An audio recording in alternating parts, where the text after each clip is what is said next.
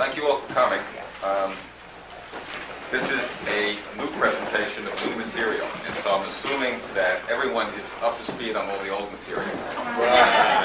If that's not the case, we're going to do a very quick review, but we're not going to do, um, I'm not going to start from the beginning again, because if I do that, we'll be here all night. And so this is new material. Also, I'm going to ask everyone to be a little patient. I'm going to do the hard, troublesome math type stuff first, and then get into the stuff that's easy to understand and new material later, so bear with it for a little while. But I do think it's worth updating what we've done before and um, writing some of the intermediate things, and then the new material. The, the title of, of the talk tonight is A Matrix of Meaning for Sacred Alphabets. And although I'm only going to be dealing with the Hebrew alphabet, what I'm saying appears to be true by and large for the Arabic and the Greek alphabet, and in some related ways we think with some of the Eastern traditions as well, Tibetan perhaps. But I haven't done that work. Um, so I'm going to use the Hebrew, and we know that the Greek alphabet is related to the Hebrew, and we know that the Arabic alphabet is related to the Hebrew. They both have the same num- numerological connection. A is one, alpha is one. I don't know what the Arabic name is, but the A letter is always one, and they all have the same numerical value. And you can parallel these alphabets. And they also have the same equivalent with English, except in English we only have 26 letters, in Hebrew there are 27 in the full alphabet. The letter that's missing is near the middle of the alphabet, and it's the one that I, I use uh, a, an English dollar sign for. It doesn't have anything to do with a dollar sign. So I think the thing to do is for me to try to follow my outline, which is very difficult for me to do. And if we do that, then we should be able to accomplish what I hope we can accomplish tonight. So thank you all for coming. Um, this work is done on the, under the auspices of the Meru Foundation, which is a nonprofit foundation. Um, some of the other people here can help you with information about what we're doing if you're curious. And there are videotapes of the old material and the update material, and we're making a new tape now for the new material. So if anyone wants to get caught up, there are tapes available here, and they're also at Cody's on Telegraph Ave. Okay, what we're going to do is we're going to rediscover the obvious. If it isn't going to turn out to be obvious when we're done, then it probably wasn't right. And so this is going to be a rediscovery of what it's hard to believe isn't known. Um, I certainly find it hard to believe that some of these ideas are not known, at least the bottom line ideas we'll get to at the end. We're going to be talking about how we generate letters of the alphabet. And we're going to be talking about the meaning of sacred alphabets and their relationship to both the physical world and to the spiritual world. And that's the primary model, the relationship of the two parts of reality. We exist in an external reality, physical reality, and we have an internal reality, our consciousness. Um, inside is our consciousness, outside is the physical world. And that relationship between inside and outside is the basis for this whole presentation. In fact, that's the first letter of the text of Genesis, is the letter B. And the letter B stands for the distinction between inside and outside. It means a house, and we'll get into some of that as we go on. Um, we're going to talk about not only um, some of these forms, which many of you have seen over the years, but now finally I'm going to try to identify some of these forms um, a little better. Um, we've gone through in the past what happened when we uh, attempted to look at the beginning of Genesis in Hebrew. And what we found is, I'm not going to, I didn't bring the, the, the large posters for that, but this pyramid-shaped object, as you can see, has letters that are all paired up. Some of the letters aren't the same, we'll talk about that too. These are the letters of the Hebrew text of Genesis, the first verse. And all that's happened here is we've taken the first verse, which should be up on the wall, and this you've seen from before. We recognized it as the first natural unit of the text, and we took um, Carlos Suarez and other Kabbalists' opinion literally. Um, the teaching is that the secret of the whole universe, of everything we could ever know, is in the first letter of the sacred text. But if you can't figure it out from the first letter, it's repeated in greater detail in the first word. If you can't figure it out from the first word, it's repeated in greater detail in the first verse, in the first day, in the first week, etc. Um, a description of a hierarchical system. Well, obviously, when we started this, it wasn't too easy to figure out the secret from the first letter. But now it becomes clear why the first letter has to be B. And that B stands for a container, for a box, for a house. The distinction between inside and outside. And then what we did with it, with this sequence of Hebrew letters is we noticed these patterns, which I've talked about before, and I'm not going to get into. We noticed that the initial B and the final Z, I'll use the English names for the letters, they're, they're equivalent, um, form a big aleph, a big A. And so it's as if the head and tail of this snake that eats its tail comes back on itself. And as we've seen before, it forms this toroidal loop. In fact, that's what this pattern does. This little pyramid-shaped object, which is shaped this way for mathematical reasons, basically correlates the same letters with themselves as you curl around the first verse. You think of sort of a bead chain, with each letter being on a bead, and you can curl the chain around so the same letters line up. That's all I've done here. Um, this pattern is so strong that correlates the letters at the beginning of Genesis that you could uniquely replace a letter if it had been miscopied, which would have been a horrible tragedy, of course, from a religious point of view, by just reference to the other letters of the first verse. It's that deeply self-referential. It's that deeply autocorrelated. It's that strong a pattern. But it's important now to, for us to try to figure out what these patterns re- represent. And what we found before that they represented was a way of generating the Hebrew alphabet. And that's what um, the basis of the previous work has been. And so what we want to do now is expand on that and find out how that works and what else it implies. We're going to be talking about some mathematical objects. Um, besides Arthur Young's seven cycle, the turn, the reflexive turn, we're also going to be talking about material that Buckminster Fuller mentions. Um, we're going to be talking about the Penrose twistor, we'll mention that. Um, some hyperdimensional objects, and some reasons for why we would want to be talking about so-called hyperdimensional objects. Okay.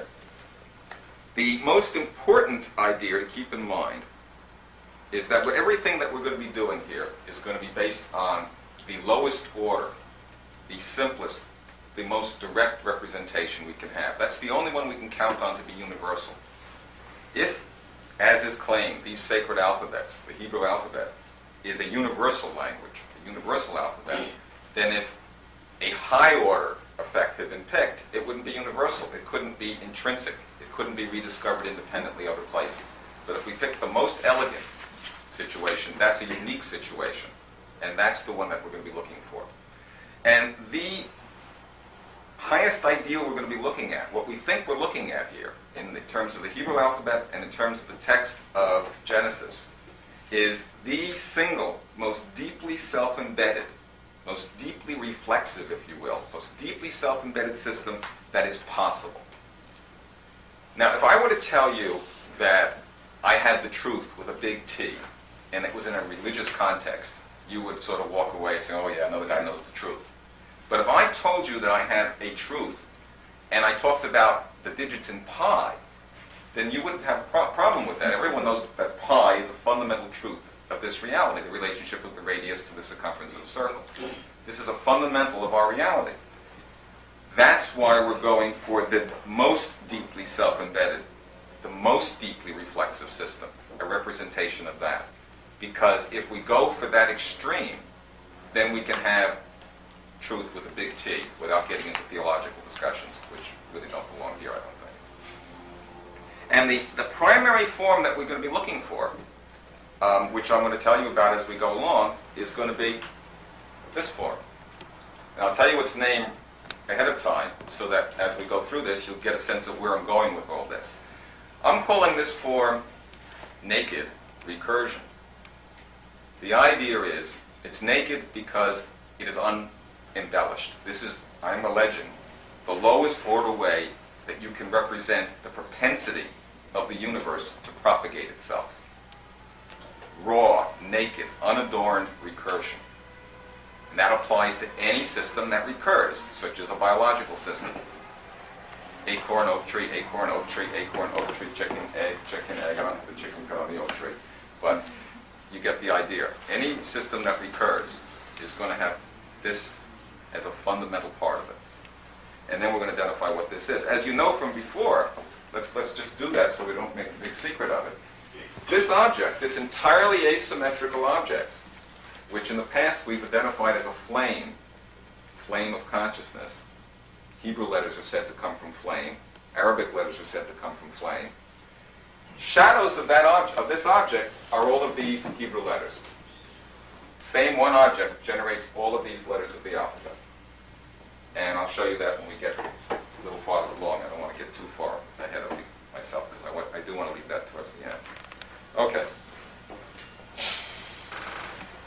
Let's review very quickly what we've done in the past. And I, I think I just said it. Uh, we found a pattern in the letters at the beginning of Genesis that when we expressed it in its most elegant form, produced this shape.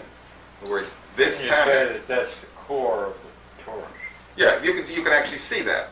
That in fact, even though we're dealing here with a flat donut rather than a spherical donut, what this form really is is nothing but the path of the seven color map of the vortex on the donut in its lowest order form.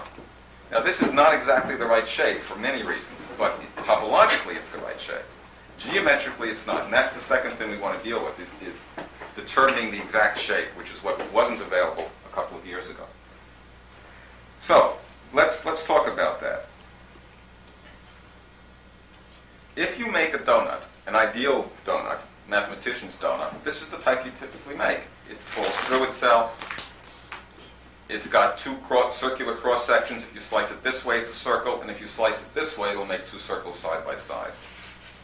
This is fine for mathematicians, but it doesn't tell us how to make the shape. For instance, if I simply took a spherical shaped donut, a, a dimpled sphere, which is going to be closer to what we want here, and I'll tell you why in a minute, I would have a form where the outside of the, of the vortex came along horizont- horizontally, whereas on this form, as you can see if I compare it, it comes through vertically. Why? Okay. Let's, let's do that first. What we're looking at, and in fact, I think I want, I want to, um, I want to read you a quote, I think. Hmm. Yeah, let's do that first. Let's do that first. Um, except I don't have it in this book. I here. This is a quote I've read before, and this is the key to the whole to the whole process. This is a discussion in the introduction to the Zohar, which is a Kabbalistic text. And I'll just read it to you, and then we'll talk about the key point. It's called the Lily. It says, Students of Rabbi Shimon were assembled together and sitting in silence, waiting for the master to begin his discourse. At length, Rabbi Shimon spoke, and he said, As a lily among the thorns. And I've talked about that before. The lilies are all of these vortex shapes, all of the smooth shapes. In fact, you can see, if you look down into this, it looks sort of like a lily, like a cow lily. And the thorns are all the polyhedra, all, well, there's a thorn. It looks a little like a thorn. And when you put the two, two of them together, you're going to make the system. So continuing. This word lily, what does it mean and symbolize? He says it symbolizes the congregation of Israel, and the lily has 13 leaves surrounding it on all sides. And we've talked about that, about that before.